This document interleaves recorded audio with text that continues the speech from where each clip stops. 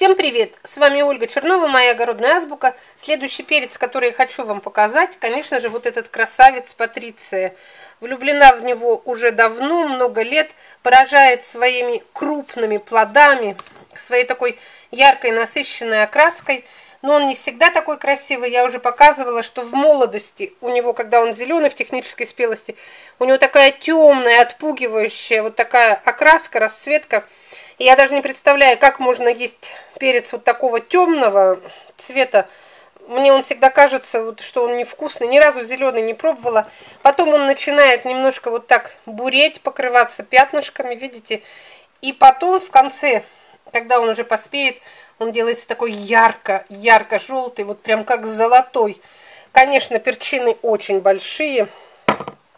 Вот это уже не первые перцы. Вот сейчас покажу вам. 250 граммов. Это вот для него нормальный вес. Есть и больше, вырастали и более 300 граммов. Но сейчас, так как уже осень, и уже я заканчиваю работу с перцами, самые крупные экземпляры уже у меня изрезаны давно. Я сейчас кратко вам расскажу о нем, но хочу сразу вам сказать, что если предыдущие перцы Венти, Винни-Пух, там Таежный, я говорила, что их можно вырастить и в открытом грунте, они вызреют в проблемных регионах, с этим перцем у нас так не пойдет. Он может вызреть полностью только в теплицах. Он очень дол долго формирует свой куст без подвязки, без опоры. Он весь обломается, они очень тяжелые. Ну, сравните, да. Или вот это у меня, я сейчас показывала, Виктория, которая вызрела на улице.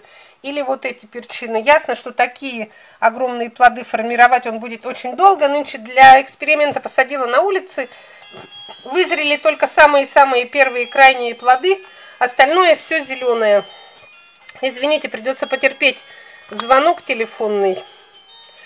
Написано перец Патриция. Среднеранний, масса 240 грамм, мясистые, толстостенные, ароматные. Все, больше даже говорить нечего. Ясно, что такие крупные перцы, они очень сочные, они очень сладкие, очень вкусные.